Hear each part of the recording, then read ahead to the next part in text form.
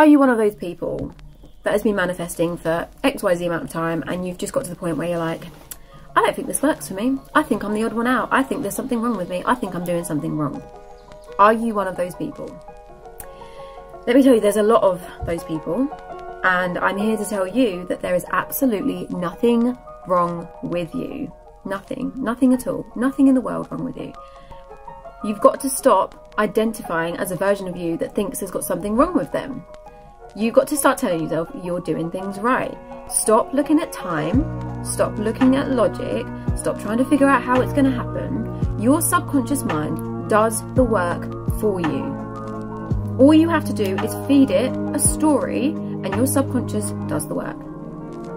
Okay, that's literally all you have to do. Your subconscious mind does the work for you. You just feed it a story over and over again. You repeat a thought, that thought becomes part of your new belief system. And voila. Ta-da. Your 3D world will